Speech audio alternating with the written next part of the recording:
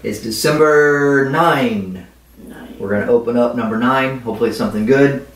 And we have Penelope helping us out today.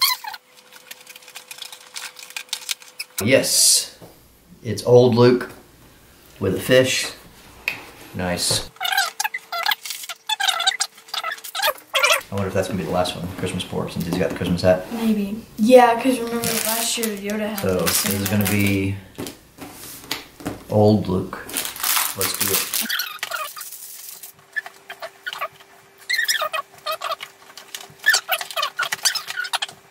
What in the world?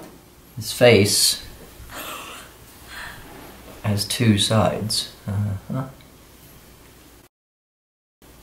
So it's He should be happy right now because he has. mad side. He should have a serious side. He's not mad. He caught food.